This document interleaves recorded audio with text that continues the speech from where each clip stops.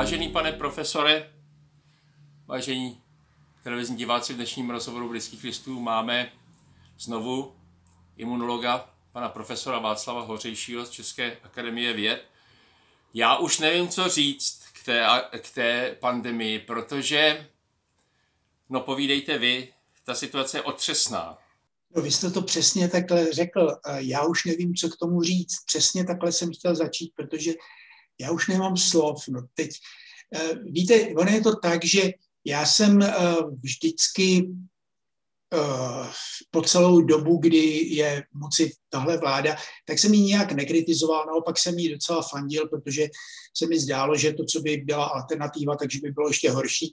Takže jsem se zdržoval jakýchkoliv takových kritik. A začal jsem to trošku kritizovat, když začala ta podzimní vlna, ale pořád jsem si ještě říkal, no tak dobře, tak eh, nejsme jediný v Evropě.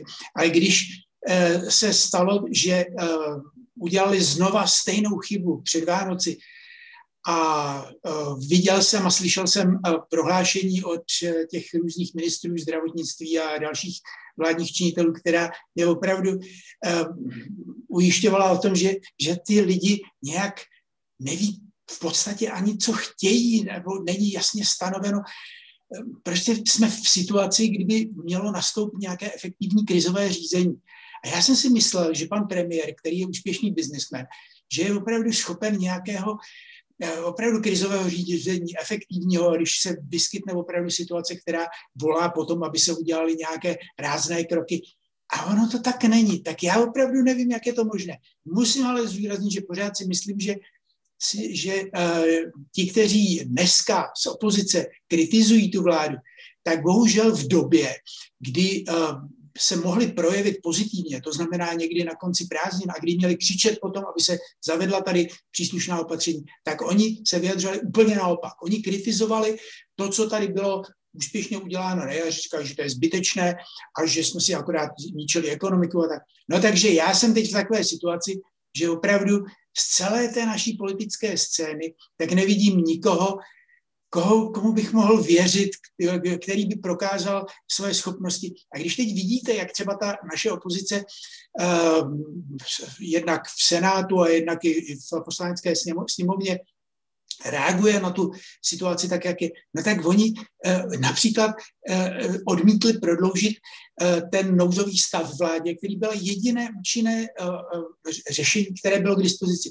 Naopak prosazovali nějaké přijetí nového zákona epidemického, který vlastně je skoro totéž a nevím, proč jako to zbytečně tím lidem způsobem komplikuje. No prostě celá ta politická scéna mě naprosto zklamává a já jsem z toho úplně špatné a jediná věc, která eh, je jakýmsi světlem na konci tunelu, jak se říká, je to, že se rozjíždí to očkování a že doufejme, že třeba za tři měsíce už uvidíme opravdu výsledky toho očkování, ale ta doba, než se toho dočkáme, se mi zdá, že bude opravdu hrozná. Teď jsme opravdu už na pokraji kapacit těch nemocnic.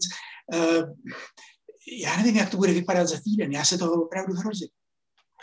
Já se obávám, že teda e, ty politikové e, z jakýchkoliv stran v České republice jsou absolutně nemožní a prostě jednají v tom parlamentě o věcech, které jsou e, irrelevantní. A mě tak napadlo, pane profesore, nevznikla v těch Čechách taková představa, že prostě my necháme ty, ty lidi na těch 65 let všechny prostě zabít, je to jedno, aspoň nebudeme muset platit ty důchody? To je, jako já si to jinak, ten rozval státu a absolutního neefektivnost, a ano, do, dobře říká se, Česko je po, eh, postkomunistická země, ale teď je spousta jiných postkomunistických zemí, pro boha, když to Srbsko má dvě úmrtí na e, milion obyvatel a Česká republika 17. Jako já to, prosím vás, promiňte, teď vám dávám různé otázky, ale jsem z toho úplně konsternován.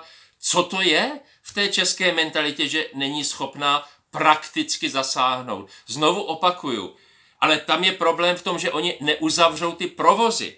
Jako Česká republika je e, prostě většinou lidi pracují manuálně v obrovských halách, často bez roušek. A já nevím, kde to bylo, že někde ve Finsku pracuje z domova asi 70% obyvatelstva a v Česku 14. To se nikdy nevyřeší tohleto. A to očkování, vy říkáte, že začíná, ono nezačíná. Česko se propadlo z, z posledních týdnech, já nevím, asi z páté pozice v Evropě očkování na 25. Jako, já už nemám, jako, opravdu chtějí ty lidi zabít, nebo jak to je? Teď jste položil několik otázek, já začnu možná od konce s tím očkováním. Já si myslím, že s tím očkováním to zase není tak hrozné. Já jsem teď nesledoval, na kolikátém místě a okolik je eh, Česká republika pozadu, ale je, údajně je to tak, že skoro půl milionu lidí je už očkovaných, to znamená eh, asi 5%. To si myslím, že není příliš pozadu za Německem, které má, myslím, 8% nebo něco takového. Prostě je to tak, že hlavním problémem je, že jsme nedostali eh, to slíbené množství vakcín, tak jak jsme měli, to znamená ti dodavatelé, respektive ty výrobní firmy, jak je dobře známo, tak Evropská unie nějak pokazila přípravu té smlouvy, takže eh, není to právně vymahatelné. Eh, pořád jsou tady ty přísliby, že do konce března tady bude eh, asi milion dalších dávek a do konce června, že by mělo být dokonce 8 milionů, tak uvidíme, jestli to tak opravdu bude.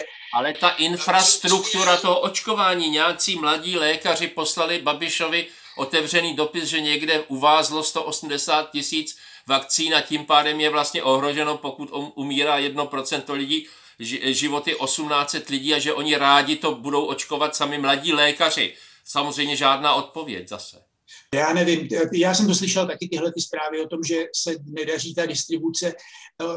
Já, já bych tohle to jako nepřeceňoval. Zase myslím si, že jestli dojde ke spoždění o pár dní v, tom, v těch, těch, já nevím, deseti tisíce očkovacích látek, které ještě nebyly vy, vyočkovány, nebo že se neočkuje přes víkendy, co by, což by se mělo. Ano, to je šílený, já nevím, asi 900 nebo tisíc lidí očkováno v neděli, co to je tohleto? No, ne, Británie to opravdu... 300 tisíc to opravdu ukazuje to, že ta organizace... Tady Oni jedou na chatu. Úplně chaotická. Já si myslím, že by skutečně bylo potřeba, aby tady byl minimálně jeden člověk, který by měl na starosti nic jiného než to očkování. Dobře viditelná, prostě schopná osobnost, taková, která je organizačně schopná a která tohle to opravdu bude mít pod palcem a bude mít možnosti eh, pravomoci takové, aby, aby s tím něco udělal. Eh, nějaký zmocněnec prostě pro očkování. A druhá taková osoba, která bude takový zmocněnec pro celou tuhle epidemickou kritickou situaci. A tady je to takové prostě jaké rozprostřené, eh, nikdo nemá tu konečnou zodpovědnost. Premiér se uh, sice hlásí k tomu, že on je ten hlavní a že si to všechno bere osobně na starost, ale to přece není možné. Ten premiér má spoustu jiných věcí uh, nějaký mikromanagement on prostě nemůže dělat. Takže to má být opravdu někdo takový, komu se to svěří. Nechápu, proč to tak není. Uh, minister zdravotnictví to samé, ten má mít na starosti celé zdravotnictví a ne, aby on byl tou hlavní tváří toho. Ten sice může být nějakou propagační tváří, ale tím organizátorem musí být, někdo jiný. Prostě uh, ano, to je, to je známka té neuvěřitelné neschopnosti. A mně se zdá, že v této kritické situaci se opravdu nějak provaluje, že zřejmě vůbec jako v té státní správě je to nějaké špatné, že, že, že jsou tam lidi, kteří jsou neschopní, že celý ten systém je byrokratický, nepružný, eh, eh, těžkopádný a a tak já nevím, to je možná jedno takové pozitivum té situace, že se ukazuje, že to opravdu je takhle špatné, že by se s tím něco radikálního mělo udělat. Já mám mimochodem, pane doktore, pane profesore, s tímhle s tím zkušenosti z uh, ministerstva školství. Kdykoliv jsem, s ním jsem občas během let jednával jako pracovník univerzity, a oni ti lidi nechtějí vystrčit hlavu nad parapet. Oni nikdy nic neudělají, jo? A to je, to je zřejmě charakteristickým rysem státní zprávy. Ano, přesně tak. Já si vzpomínám, já mám jednoho nejmenovaného známého na nějaké pozici na ministerstvu školství a když spolu mluvíme, tak ten o tom mluví, skutečně on je insider, který opravdu do toho vidí jak, jako zničku. A, a ten říká, že to je úplná hrůza prostě s tím, jak je to byrokratické, nepružné a, a všechno tohleto špatně tak já nevím, jak, jak se s tímhle tím dá hnout. To tady je prostě nezměněné celá ta léta a bylo Ale proč v Čechách? Jako, já nevím, když i to Srbsko je Ale největší, největší problém je, že já opravdu nevidím, i kdyby přišla k moci nějaká nová strana, která by obsadila uh, tahle ta ministerstva, tak, tak nevím, jestli je tam někdo buď jako opravdu tak schopný, který by to změnil, anebo jestli prostě, já, já, mně se zdá, že celý ten systém je tak rigidní, že ani toho reformátora mu to neumožní nějak udělat. To je smutná zkušenost opravdu, to, to, že, že to je takhle špatné všeobecně. Už jsme se teď vzdálili trochu od toho tématu covidového, teda, že si stěžujeme tak jako obecně, ale, ale je, je, to asi opravdu jako úplně zásadní problém tohleto. No a potom, co jste říkal, že máte takový dojem, že, že to lidem nevadí, že ty lidi umřou, tak já si myslím, že skutečně u značné části populace, zvláště takových těch mladých lidí, eh, že, že tomu tak opravdu je, že oni to tak berou, že se nic nestane, když tyhle ty lidi umřou. Myslí si o sobě, že jim skoro nic nehrozí, což je trošku falešné, protože ano. čím dál tím více ukazuje, že i u těch mladých lidí to může být docela často závažné. Ten poměr těch mladých se teď zvyšuje eh, na těch vážných případech. Takže to je jedna věc. Ta by svědčila prostě o tom, že já jsem nes, já opravdu nepříjemně překvapený tím, že zřejmě značná část té české společnosti je takhle na tom morálně špatně, že, že zkrátka tohle to jim nevadí. A to, co jste říkal, že možná nějaký tak, nějaké takové přesvědčení je možná i v těch vládních kruzích, no eh, nejste první, kdo něco podobného takového říká. Jako opravdu i mezi mými známými se tak jako šíří takový názor, že sice ne, že by jim to nevadilo, že, že by jim to nevadilo, že ti lidi umírají, ale že to zkrátka už docela dávno vzdali, takovou tu snahu o to, aby se to potlačilo eh, na nějakou přijatelnou míru, ten, ten počet závažných opatření, eh, těch případů, a, a že jim úplně stačí, a bohužel ani to se jim nedaří, aby se udrželo prostě ten stav jenom tak, aby tak, tak se ty kapacity nemocnic prostě udržely, aby to nepřekročilo úplně, úplně, aby to nepřeteklo přes ten okraj. A s tím, že se spokojí a hlavně, že uh, ta ekonomika uh, pojede dál, to znamená, to jste říkal o těch výrobních podnicích. Uh, ano, my někteří, kteří to pořád kritizujeme už dlouho, několik měsíců říkáme, nemusí se přece testovat hlavně v těch podnicích. Tam ti lidi, přesně jak jste říkal, tam ty lidi pr- pracují z povahy té práce, že musí být v blízkém kontaktu, že nemají roušky na sobě, že chodí do společné závodní jídelny a tam je to prostě to, úplně to samé, jako kdyby to byla přeplněná restaurace. A tohle to všechno běží, ví se to a přece ty lidi na tom ministerstvu zdravotnictví tohle to musí vědět úplně jasně. A buď to to neví, nebo to nechtějí vědět, nebo jim to úplně jedno. Já opravdu nevím, jak je to možné. To znamená to masivní testování, které doporučujeme, se nekoná. A a, a, ne, a, a stát není schopen ani vynucovat ta opatření, která uh, nařídil. To znamená, oni se chovají k tomu, já jsem se několikrát setkal v rozhovorech, které jsem měl pro různá média, tak mi ten moderátor říkal, no jo, ale to my nemůžeme prostě zavíc nějaké, ně, něco přísnou, trestat ty lidi za to, že to nedodržou. To by jsme byli policejní stát, to my nemůžeme. No, no to je potom těžký, když ten stát si prostě ne, nedovede dupnout a ne, ne, neříct, se pokutuje Británii částkou... A když nebudete poslouchat, tak dostanete likvidační pokutu.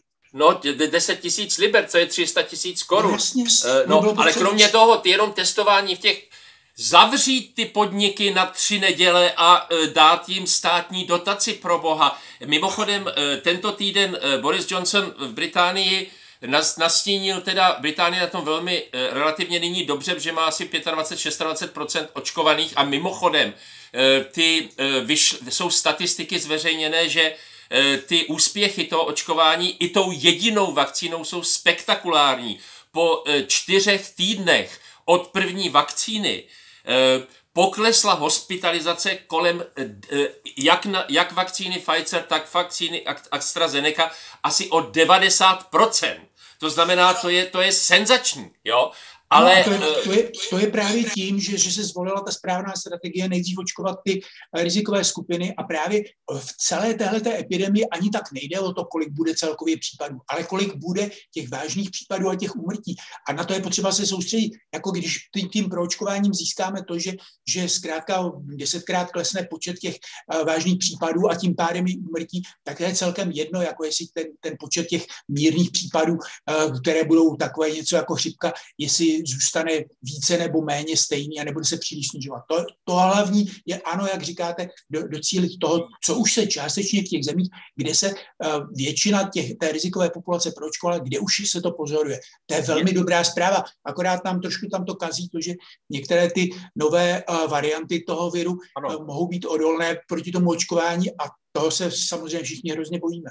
To je právě to, že ty, ty nové varianty vznikají v těch zemích, kde je to promořeno co nejvíc a bohužel to je zrovna Česká republika, ale jenom jsem chtěl říct, že tady v Británii vědci varují, že i když ta situace, že, že ta, ta hospitalizace klesá a ta nákaza klesá, takže přesto očekávají, že od nynějška přestože je teď očkováno těch 25% obyvatelstva, ještě v té Británii umře asi 30 tisíc lidí. Já jenom v té souvislosti, protože ten dopad vždycky je delší. Prosím vás, čekejte v Čechách teď, v následujících týdnech absolutní hrůzu. Ano, jako? ano, to, je, to určitě tak je, všichni, všichni se to obáváme a už se tomu prakticky nedá ani zabránit. A bohužel těch 30 tisíc mrtvých, které budou v té Velké Británii, tak já se obávám, že tady v té České republice, která má šestkrát méně obyvatel než Velká Británie, to mezi těmi 20 a 30 tisíci dalšími taky bude. To je hrůza. Závěrem pro boha apelujeme teda já nevím, na ty politiky se asi už nedá apelovat, protože oni to prostě neposlouchají. Ale, pro, ale uzavřít ty provozy na ty tři neděle, testovat a pro boha urychlit to, to, to očkování, když dokáže Srbsko proočkovat, já nevím, skoro, já nevím, 8% obyvatelstva, Česko pořád má 4-5, já, a, a ta, ta infrastruktura, někdo by se, opravdu, ale je v té zemi někdo teda, jak jste říkal, kdo by to zorganizoval? Já vůbec nevím. Já, určitě takový lidi existují a možná někde na nějakých nižších úrovních schopní organizátoři, ale já, já jsem opravdu šokovaný tím, že na té vládní úrovni se nikdo o to buď nestará, anebo e, prostě není schopný to, to zorganizovat. Tam bylo několik lidí na ministerstvu zdravotnictví, několik lidí, kteří tam odsaď odešli a a e, někteří z nich se zdálo, že by i byli schopní, ale prostě museli odejít, protože nesnesli to, jak, jaký jsou tam někteří ti náměstci třeba. Já konkrétně vím o jednom, u kterého jsem uh, četl jeho rozhovor nějaký, který byl úplně hrozný prostě. Já nevím, jak ten člověk vůbec může dělat náměstka ministra. Já myslím, že je to na hraně kriminality, jestli to není přímo kriminalita, protože co takový zákon o bezpečnosti práce? Jak můžou ty lidi chodit do těch podniků, kdy, když je tam ohrožován jejich život? Skončíme. Já už opravdu mě nemám slov. Pane profesore, děkuji vám moc krát. Ani já nemám slov, děkuji. A doufám, že až mě zavoláte příště, tak aspoň něco bude lepší. Já vím, já vím. Naschledanou. Naschledanou. No.